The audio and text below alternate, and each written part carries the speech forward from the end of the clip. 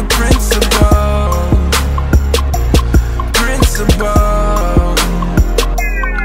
It's like a natural disaster When everything around you starts to break and crash away. So every day